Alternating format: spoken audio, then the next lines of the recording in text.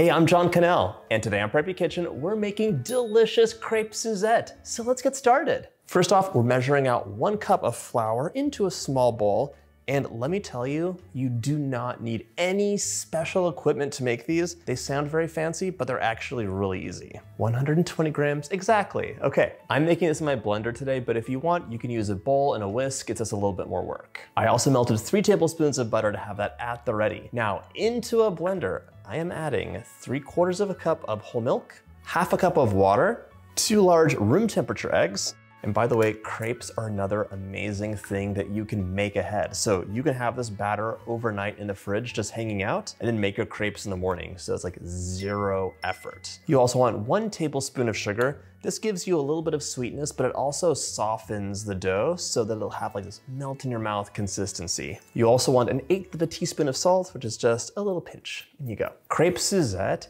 is an orange crepe. So we're gonna have a little bit of orange flavor in the crepe and that's coming from orange zest. Using my microplane or rasp just to get like half a teaspoon or so of zest. Now we're gonna blend this up for about 15 seconds just so everything is nice and combined before the flour goes in. And if you wanted to, this could be done with a whisk. I almost forgot that melted butter. What am I thinking? So that would have been an accident, and crepe Suzette was actually invented by accident. There was a dish being served to the Prince of Wales. It was in a chafing dish, which has a little flame to keep things warm. The crepes caught on fire from the chafing flame, and the guy was like, oh my gosh, everything must be ruined, but there was no time to fix it. So he served the dish that had been flambéed, because there was brandy in the sauce, and it tasted delicious. So crepe Suzette was born.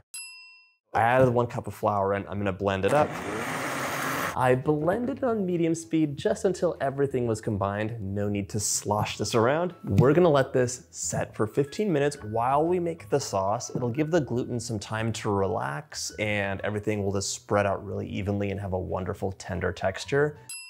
You want a big pan and everything just goes right in there, starting with the zest. So two teaspoons of orange zest. Depending on how you measure that, it's like the zest of one and a half oranges. So we zested half for the crepes, one and a half for the sauce. And you can do this two ways. So traditionally, a crepe Suzette, if you go to a fancy French restaurant, will be flambéed at the table and they'll like light everything on fire and serve it there. But when you're making things at home, unless it's for a dinner party and you're really trying to get that moment, it's just easier to do it the way we're gonna do today, where we serve everything warm and delicious, but we're not gonna catch things on fire. I will tell you, how to do that, and maybe we'll try it out too, we'll see. Now we need some fresh orange juice, and I love oranges. We grew up with orange trees at my house, and my mom who's from Mexico actually like fell in love with French cuisine. So one of the things she would always like to try out are different French dishes and she loved making crepe Suzette for dinner parties. Fresh orange juice is totally different from what you get out of a bottle from the store, unless it says freshly squeezed orange juice. If it says made with freshly squeezed oranges, that means that like a year ago, they juiced the oranges, they went into some crazy giant silo, and then they added orange flavorings to it a year later when they took it out of the silo.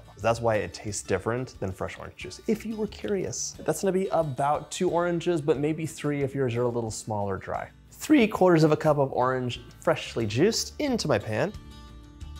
I'm adding half a cup of unsalted butter, cutting it into little pieces, and this is gonna give us a wonderful richness and great mouth feel for the sauce. It'll also help soften the acidity of the oranges. The sweetness is gonna get amped up with half a cup or 100 grams of granulated sugar. My butter's all melted. This is gonna come to a boil over medium high heat, and then we're gonna reduce to a simmer, and this is gonna simmer down. However, you're gonna add the final ingredient in this, and that's a really nice orange liqueur. You could use a triple sec if you want, but find a nice triple sec for it because it doesn't have a ton of flavor. A nicer one like a Cointreau or a Grand Marnier is gonna be brandy based and give you just more depth of flavor. And if you're worried about the alcohol, it all burns off while this cooks. So if you're gonna flambe this, you wanna add the alcohol at the very end. It'll be really hot. So hot sauce, alcohol goes in, light it on fire, and you could pour it on top of your crepes. It's a wonderful presentation. But if you're not doing that, you can add about a third of a cup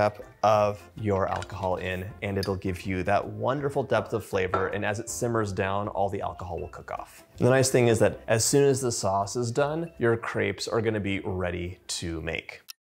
My sauce is almost thickened, but because I've been filming and it takes a while to move cameras around, this has rested for 15 minutes, so I'm gonna put this on the stove behind me while we make our crepes. My sauce is bubbling way behind me, and just really quickly, today I'm using a crepe pan. I got one for Christmas and I love it, but you can make this in a regular non-stick large pan and it works just fine. The benefit of this is it's really flat, so it's easy to take the crepes out. Pop that over medium heat and you have to mind the heat because as you continue cooking crepes, this pan will get hotter and hotter, so you'll have to adjust the heat down. You're going to brush butter on here, and butter is your friend for a multiple number of reasons. Prevents sticking, it makes the crepes delicious, it also gives you that like tender, wonderful crepe. If your heat's too low, you'll dry the crepe out and it'll be kind of tough, and if it's too high, your crepe will burn. I'm also transferring my batter into a bowl. That seems nice and hot. Your first crepe is usually usually a little not pretty. I happen to have my crepe swirly tool. I don't know what it's called. You don't need it. It's kind of more trouble than it's worth. Now we're gonna add a quarter cup of the batter in, and you can add it in like I'm doing just to give you kind of an even layer. Use your wet tool, if you have it, just to spread the batter out a bit, because you want a thin layer. And you're gonna see your crepe cooks really fast. Put that back into soak, and this got a little too hot, so we'll see. You'll know your crepe is done when the top changes texture because it'll look um, a little bit more matte and lose that glossy consistency. Okay, there we go. All right, that first one is like a sacrificial crepe. It's not the prettiest ever, but it's gonna taste delicious and you can always put it at the bottom of the stack. People freak out about crepes not being perfect and whatever else, but what they don't realize is you're either rolling them or folding them so no one can tell. except for you. So that got a little bit more color than I wanted, but it's okay. And I did tear it. More butter now. One quarter cup of batter. We're gonna spread this out a bit. This is not how you're supposed to use a tool. You're supposed to do one graceful motion like this. I took that off heat. It's looking nice and syrupy. This changed texture. This is better. It doesn't look good, but this is better. So I have two sacrificial crepes the rest are gonna be fine. Your pan can't get too hot because then your butter will start browning and crepes shouldn't have that like dark color. They should be nice and light and delicate. Gonna add a quarter cup of batter in, use my crepe tool and just get a nice even layer. And you flip it over just like that. If you don't have one of these, you could use an offset spatula to pick it up. This is nice though because it won't scratch your pan. It's like a little wooden sword. So fold that up. That looks great. You wanna see those little dots? and place it on a tray for later. You're gonna repeat this process, making sure to butter in between each crepe and also reduce temperature if your pan is getting really hot. And sometimes you'll also have to take the pan off of heat so it can cool down a bit.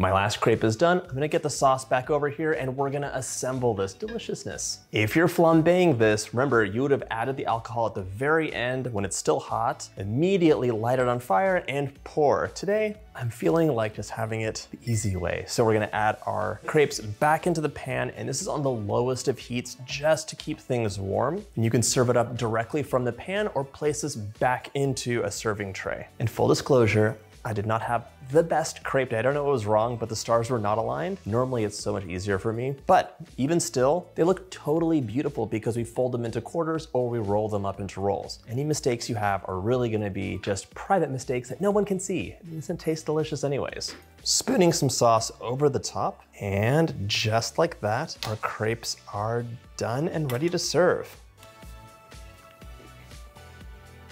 That is buttery, bursting with orange flavor, and just melts on your tongue. It is so delicious. I hope you get a chance to make this recipe, and if you like this video, check out my French playlist.